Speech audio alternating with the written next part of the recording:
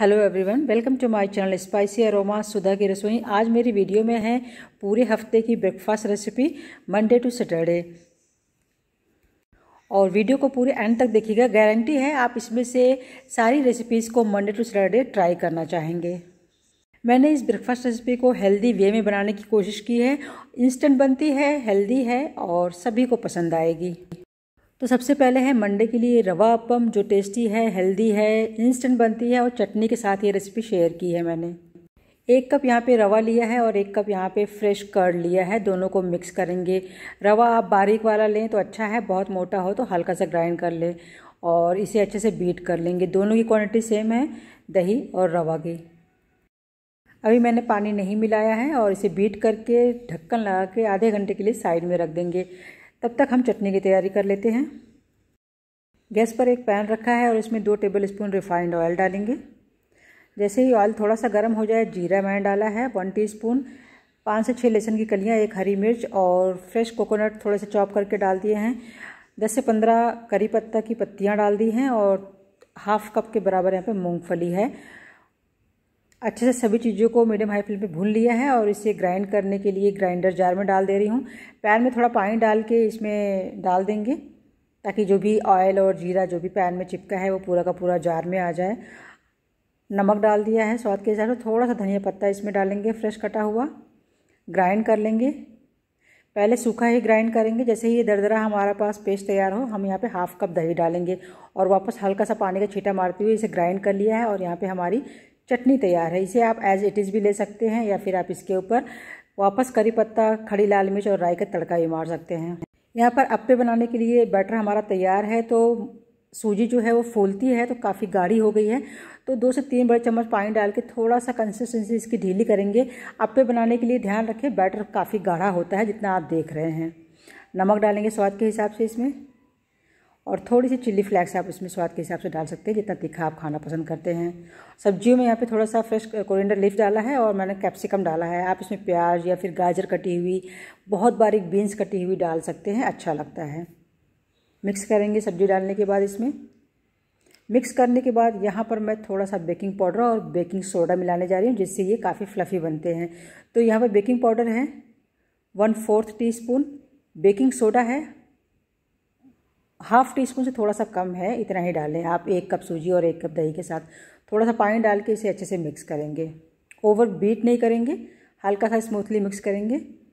और यहाँ पे हमारा बैटर अपम बनाने के लिए रेडी है। तो यहाँ पे अपम पैन लिया है। अपम पैन को गैस पे रख दिया है, थोड़ा सा गर्म करेंगे। नॉन स्टिक होता है, हल्का सा घी डाल के इसे बनाया जा सकता है।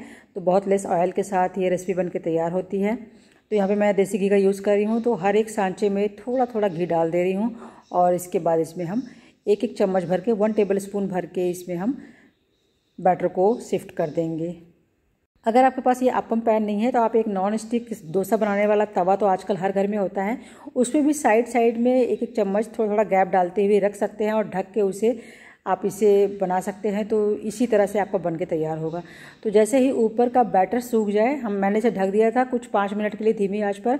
ऊपर का बैटर सूखने के बाद हम इसे फ्लिप कर देंगे, पलट देंगे और वापस थोड़ा चम्मच वन फोर्थ टी स्पून के लगभग देसी घी डाला है, वापस ढक के इसे पका लिया है और दोनों तरफ़ से अच्छा ब्राउन कलर आने तक इसे हम पका लेंगे और यहाँ पर हमारा सूजी दही का बिल्कुल हेल्दी वे में और टेस्ट भी आपको दो गुना बढ़कर मिलेगा। बस चटनी बनाई चुके हैं हम।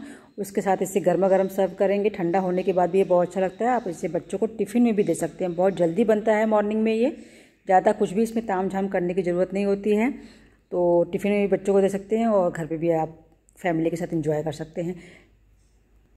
बहुत ही ज़्यादा सॉफ्ट बने हैं। चलते हैं ट्यूसडे की ब्रेकफास्ट रेसिपी के लिए, जो है मूंग दाल चीला रेसिपी। और इससे मैंने वेजेस और चीज़ के साथ फिलिंग किया है। तो यहाँ पे स्प्राउटेड मूंग लिया है। तो रात को इसको सोख करके रख लें और एक दिन के लिए आप इसे स्प्राउट करने के लिए सूती कपड़े में छोड़ के रख दें। हाफ़ कप स्प्राउटेड मूंग है और हाफ़ कप घर की फ्रेश दही है, खट्टी ना हो। और दोनों का पेस्ट बना के मैंने यहाँ पे तैयार कर लिया है, बैटर बना के तैयार कर लिया है, ग्राइंड कर लिया है। थोड़ा सा अगर बहुत गाढ़ा हो तो आप इसमें पानी भी मिला सकते हैं। यहाँ पे हाफ़ कप सूजी डाला है। दही और मूंग दाल का पेस्ट बनाने के बाद जो बाउल में ट्रांसफ़र किया, उसमें हाफ़ कप सूजी डाला है और फिर थोड़ा सा पानी डाल रही हूँ इसकी कंसिस्टेंसी को एडजस्ट करने के लिए। नॉर्मली जैसे आप डोसे का बैटर एडजस्ट करते हैं, तैयार करते हैं, वैसे ही तैयार करना है। आधे घंटे के लिए मैंने इसे रेस्ट पे छोड़ा था। आधे घंटे बाद वापस दिखा रही हूँ, ये काफ़ी गाढ़ा हो चुका है, क्योंकि सूजी फूलती है तो आधे घंटे का रेस्ट देना ज़रूरी है। और यहाँ पे सूजी फूल चुकी है तो कंसिस्टेंसी सी गाढ़ी हो चुकी है तो थोड़ा सा पानी और ऐड करेंगे और इसको थोड़ा सा ढीला करेंगे। आप वीडियो में देख सकते हैं कि कंसिस्टेंसी इसकी कैसी है तो सब चीला बनाने के लिए हल्का सॉल्ट डाल देंगे। आप टेस्ट के हिसाब से सॉल्ट ऐड कर सकते हैं। तो बस ये हेल्दी मूंग चीला बनाने के लिए बैटर रेडी है। अब यहाँ पे जो हमें सब्जियों की फिलिंग करनी है, वो देख लेते हैं। तो यहाँ पे जो तीन कलर की शिमला मिर्च होती है रेड येलो ग्रीन तीनों को ले लिया है, बारीक बारीक काट लिया है, एक छोटा सा प्याज बारीक काट लिया है और बहुत बारीक काट लिया है, वो मैंने इलेक्ट्रॉनिक चॉपर में चॉप कर लिया है कैरेट को और तीन से चार टेबल स्पून डाल देंगे और यहाँ पे प्रोसेस्ड चीज़ मैंने अभी कद्दूकस करके ऐड कर दिया है। सभी चीज़ों को अच्छे से कंबाइन कर दिया है। एक नॉन स्टिक तवा लिया है डोसा बनाने वाला। उससे पहले अच्छे से हीट करेंगे और इस तरह से पानी का छिड़काव करेंगे इसे ठंडा करने के लिए। तो इस पानी को या तो आप डायरेक्ट सिंक में गिरा दें या फिर कॉटन कपड़े से पोछ लें। तो मैंने सिंक में गिरा दिया है और इसे नैपकिन पेपर से वाइप ऑफ़ कर देंगे और हल्का सा तेल डाल के तवे पे ग्रीस कर लेंगे। तो यहाँ पे अभी हमारा डोसा पैन चीला बनाने के लिए तैयार है। तो फ्लेम को अभी हम लो कर देंगे। ये प्रोसेस करना ज़रूरी है, तब आपका चीला तवे के ऊपर अच्छे से फैलेगा। तो इस प्रोसेस को करने के बाद गैस का फ्लेम स्लो करेंगे और एक लैडल भर के मैंने तवे पे बैटर डाला है मूंग दाल का और इस तरह से धीरे धीरे घुमाते हुए गोल गोल सेंटर से घुमाएँगे, बाहर तक ले जाएँगे और चीला हमारा फैल गया है अच्छे से, जैसे ही हल्का सा ड्राई हो तो जो हमने चीज़ और वेजेज वाला मिक्सचर तैयार किया है, वो एक साइड हम इस तरह से स्प्रेड कर देंगे और एक साइड खाली छोड़ेंगे क्योंकि हमें इसे फोल्ड करना है उसके ऊपर ढक देंगे और नीचे से अच्छे से पकने देंगे, जब तक हमारा चीज़ भी मेल्ट हो जाएगा।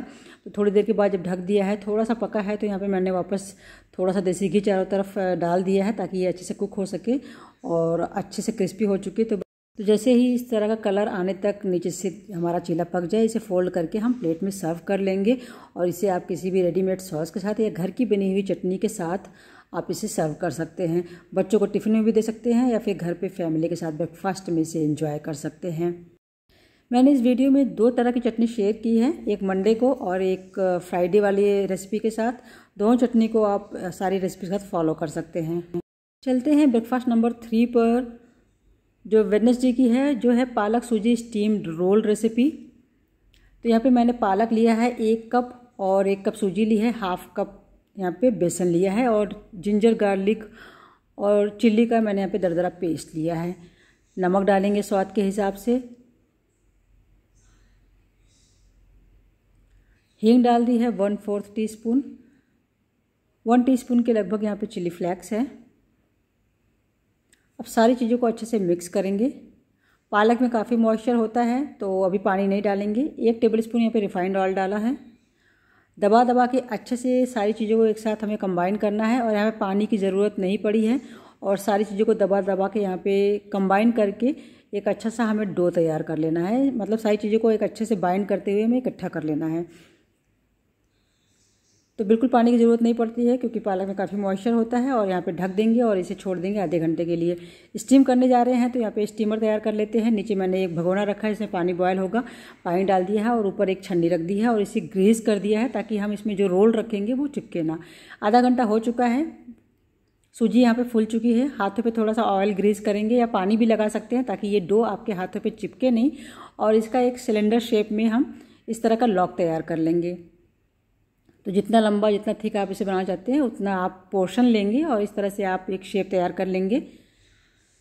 और इसे जो हमने स्टीमर तैयार किया है, उसमें शिफ्ट कर देंगे। तो पानी में बॉयल आ चुका है, अच्छी स्टीम आ रही है।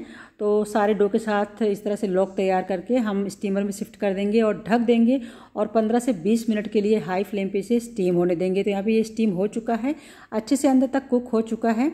और इसे मैंने बाहर निकाल लिया है। इसे इस तरह के पीसेस में कट करके आप इसे एज इट इज़ चटनी के साथ ले सकते हैं या फिर आप इसे तड़का मार के भी ले सकते हैं। तो मैंने इसमें तड़का लगाया है। तो आप देख सकते हैं, बहुत अच्छा टेक्सचर है और टेस्ट में तो बहुत लाजवाब होता है और बहुत हेल्दी है और इंस्टेंट बनता है। तड़का लगाने के लिए मैंने पैन लिया है। थोड़ा सा ऑयल डाल के जीरा, राई का तड़का मारा है और इसमें मैंने ये रोल्स जो कटे हुए थे, इसमें शिफ्ट कर दिया है और इसे अच्छे से इसमें ऑयल के साथ फ्राई कर लेंगे। और ऊपर से थोड़ा सा धनिया पत्ता डालेंगे और फ्रेश कटा हुआ कोकोनट ग्रेट करके इसमें डाल देंगे।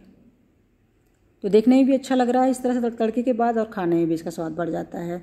तो इसे भी आप ब्रेकफास्ट रेसिपी फैमिली के साथ इन्जॉय कर सकते हैं, नहीं तो आप इसे टिफ़िन में भी बच्चों को सर्व करेंगे तो बच्चे टिफ़िन पूरा खाली करके लाएँगे।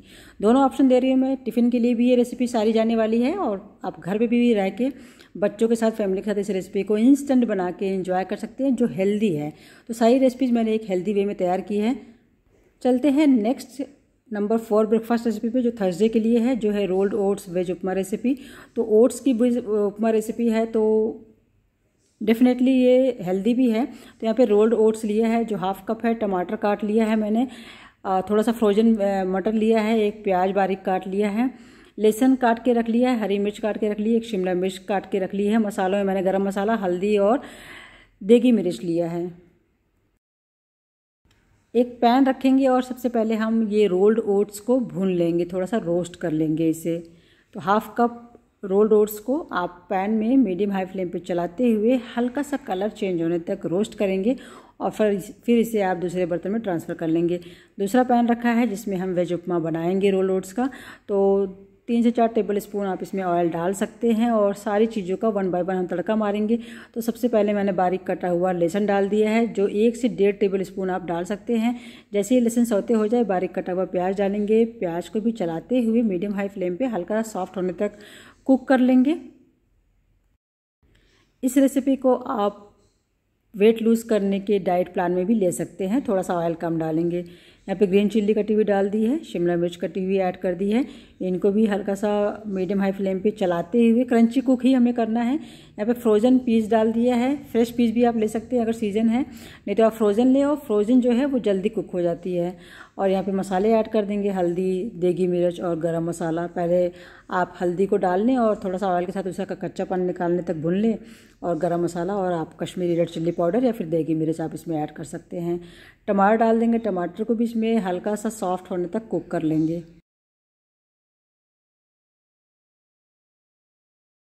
टमाटर जल्दी से गल जाए, इसके लिए हम स्वाद के हिसाब से इस समय सॉल्ट ऐड कर देंगे।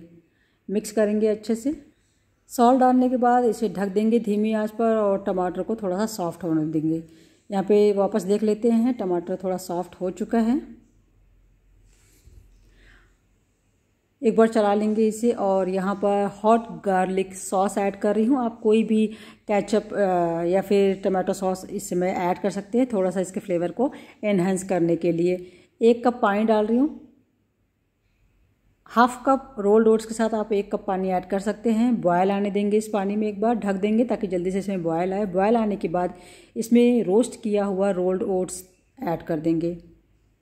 हाफ़ कप से थोड़ा सा ज़्यादा रोल्ड ओट्स ले सकते हैं, जो एक से दो लोगों के लिए इनफ रहेगा।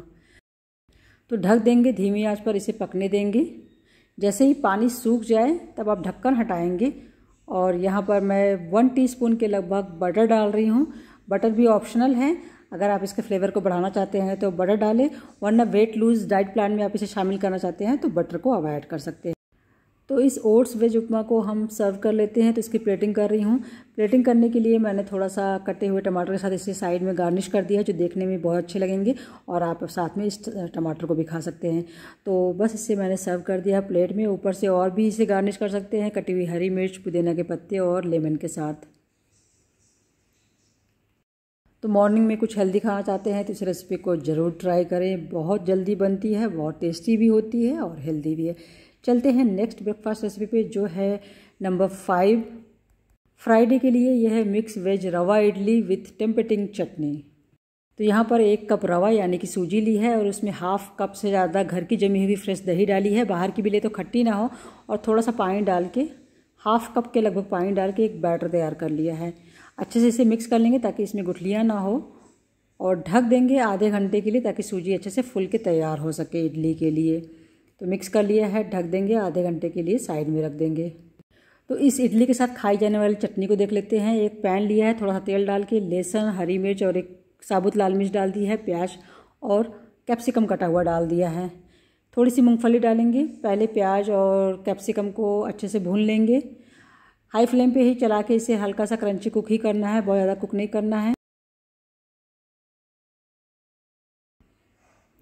वन टेबल स्पून यहाँ पर मैंने डाल दिया है। मूंगफली इसे भी हल्का सा रोस्ट कर लेंगे और चटनी में हल्का सा येलो कलर देने के लिए यहाँ पे थोड़ा सा वन फोर्थ टी स्पून के लगभग हल्दी डाल दिया है, मिक्स कर लेंगे।